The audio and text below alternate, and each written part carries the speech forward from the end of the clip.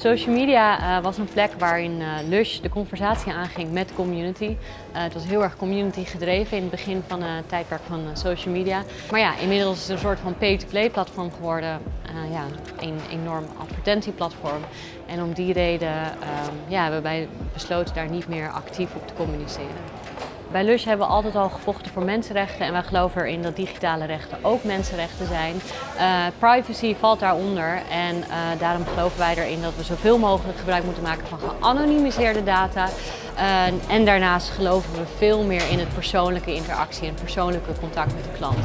Dus ja, voor ons is data niet leidend. De nieuwe strategie van Lush is gebaseerd op minder praten en meer luisteren. Luisteren naar de klant en vooral de conversatie bij de community laten. Zij kunnen het beste vertellen wat zij vinden van onze producten en waarom ze het geweldig vinden of waarom ze het niet geweldig vinden. Uh, dus we leggen de conversatie in de handen van de consument in plaats van dat wij daarin leidend zijn.